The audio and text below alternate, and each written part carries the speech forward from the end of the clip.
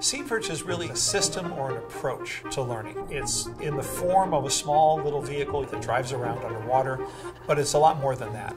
We are trying to disseminate love of the ocean and teaching about the ocean as broadly as we can, and Seaperch is meant just for that.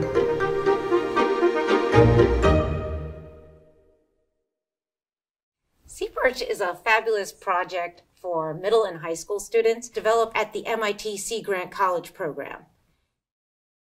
The Seaperch was made in about 2000. It's not outdated per se, but there's definitely a lot of stuff that's come around since then that could be added to it. We specifically wanted MIT students to help us create the Seaperch 2 modules and the Seaperch 2 concept because they're bringing a fresh set of eyes to the problem. I love seeing people get excited about engineering, get excited about learning.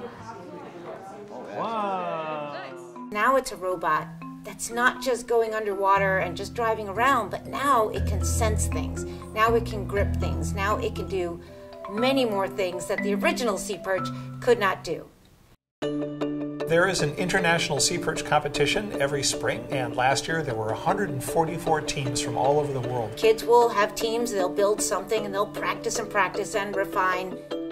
They make the robot frame out of PVC pipe, they get motors, make a cable that goes to a control box. So now they've made a robot that they built, and they can change the design of the frame and they can change its performance. From the get go, Seaperch is about exploring design. You have to think about buoyancy. You have to think about how am I going to make everything stay dry. You have to think about the placement of your motors because when you're driving underwater, you can move in any direction. So if you want to drive straight, you have to really think about how am I going to make this robot level. The Sea Perch project is really outreach for the Sea Grant College program.